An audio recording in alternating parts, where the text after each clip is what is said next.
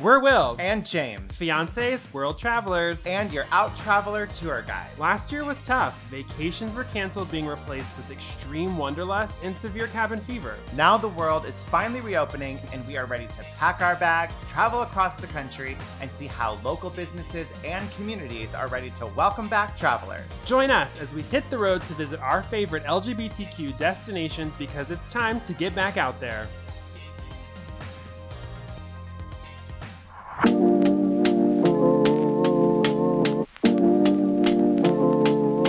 Houston is a bustling city full of art, science, food, and culture, all with a unique Texas flair. From the NASA Space Center to the rainbow streets of the Montrose District, there is a little bit of something for every traveler. We are beginning our day at the Royal Sonesta near the Houston Galleria, and I don't know much about the city of Houston or all that it has to offer, so I'm ready to get going. I, on the other hand, am from a really small town two hours outside of Houston and grew up coming to the city for art, theater, concerts, and tons of food.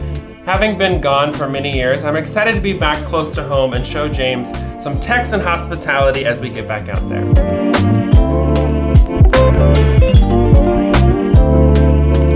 The Royal Sonesta at the Houston Galleria is in a perfect location for all the major activities you can do while visiting the city. The rooms are comfortable and provide everything you could need during your stay. If you're looking to go shopping, walk on over to the Galleria and explore the hundreds of shops. If you're looking for good food or the LGBTQ plus area of the city, the Montrose District is located just four miles from the hotel. We had such a great time staying at this hotel, and it was a perfect way to get our trip started this morning as we head to Koffeteria and East Downtown.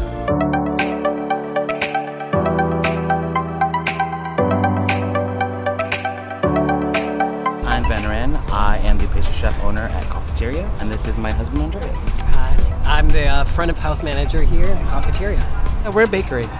we do a lot of really fun, sweet things, a lot of seasonal things, a lot of crazy creative things. Um, our menu changes all the time, which he absolutely loves. Um, keeping up with that. Last night I was like, oh, hey babe, you got a new item tomorrow, sorry. what inspired me to open up this bakery? Uh, I always knew that if I was gonna come back, I had been gone from Houston for about 10 years, so I always knew if I were gonna come back to Houston, it's gonna be something big, it's gonna be something on my own. I think what really saved us during the pandemic is that we had just enough time to become part of this neighborhood because they didn't want to they wanted a coffee shop in their neighborhood. They wanted some place where they could get pastries. Just coming from a cambodian heritage i just find that like food was a direct connection towards that culture. I'm a first generation american like cambodian american it's my journey and my perspective on food and how I was brought up. Besides it being an LGBTQ um, just owned cafe, it's actually a family run as well. Like my dad does all of our accounting, all the business um, side. My mom does a lot of the marketing for us as well. She does a lot of, she cooks literally every single week has brought food for us. Uh, for the last almost three years now. I think it's also, it seems to be an important thing for the community as well. Um, they've really come out for us. It's that like symbiotic relationship between us and the community, and that's how you know you got something kind of like a good secret on your hands. But I think yeah, the food definitely plays a huge role in tolerance in general, and I think it helps people understand the differences that can make Houston a better place.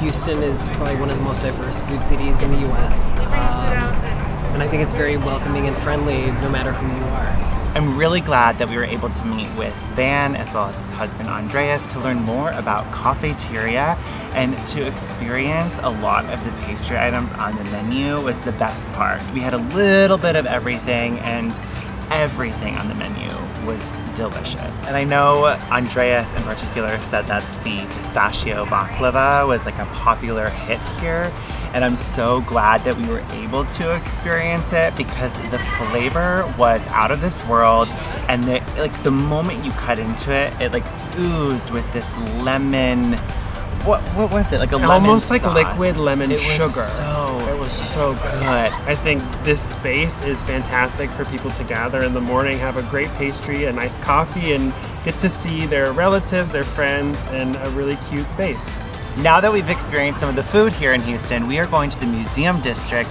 to meet with some of the team members of Q-Fest to learn more about the Gay and Lesbian Film Festival that takes place here.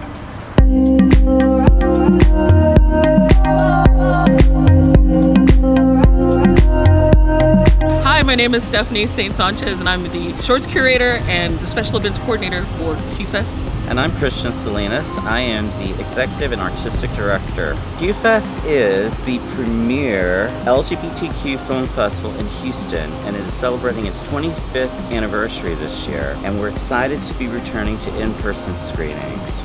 Last year we kind of hosted online screenings. It had its pros and cons. Um, one good thing I think it had was that we really reached an international audience because we were online. We got viewership from all of strange places we would have never heard of or, or gotten before. It was originally the Houston Gay and Lesbian Film Festival, but it came about because uh, a pack of straight women and one lesbian decided that Houston could not go on without having its own gay and lesbian film festival, considering how large and, and politically active the community uh, was and still is. It's so cool to think that you had allies who envisioned that. Like, they took it upon themselves to do it. Like, this is something that we want to do, it's important, and we want to show support for the community. That is the kind of place Houston is. We have such a, an amazing arts community, and traditionally, I'm not going to say the best artists have been queer, but there's just a lot of really wonderful art and uh, a lot of art life here, a lot of wonderful places to visit. What I love about Houston over every other city I've been to is that the arts community here is involved with each other. We're very supportive of each other's endeavors, goals. We work together, we collaborate, we write grants together. Uh, we support each other in ways that you just don't find in other communities. I love seeing the um, you know younger people coming to the screenings and really getting engaged and asking um, thought-provoking questions. Like sometimes you just forget like wow, there's a whole new generation and they have uh, an entirely different perspective on um, on the struggles that they're going through now and and how they reflect on the struggles we went through coming of age. Um, I love seeing that. We have some things that are in the works, so we would encourage people to visit our website at q-fest.com. We're visiting Houston at the perfect time because it is Pride Weekend here, so I wanted to bring James to the Montrose District to explore all the festivities going on. There are gay bars lining the entire streets of the Montrose District, all displaying their beautiful pride flags to celebrate. Reason to get up.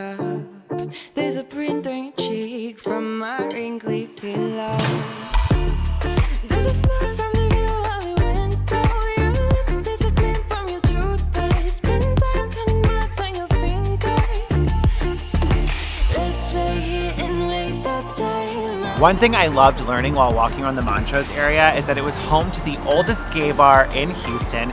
It was known as the Montrose Mining Company and operated from 1978 to 2016. It is now a restaurant called Postino's Wine Bar and it pays special tribute to all of the previous gay bars. And I loved walking around and seeing all the posters and pictures from those previous gay bars because it was interesting to see what they did for advertisement at a time when it was less accepted.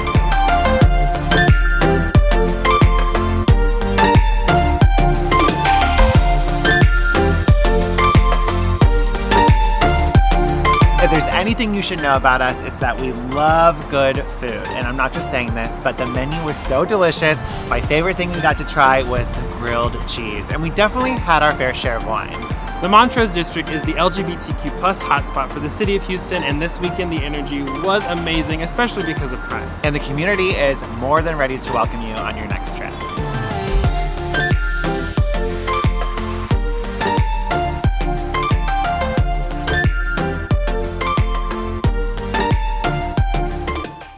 Thank you so much for watching this video. We hope that we were able to inspire you to get back out there when you're ready. I always love visiting the city of Houston, and if you have any exciting travel plans, let us know in the comments below. And for more information on LGBTQ plus travel destinations, visit outtraveler.com.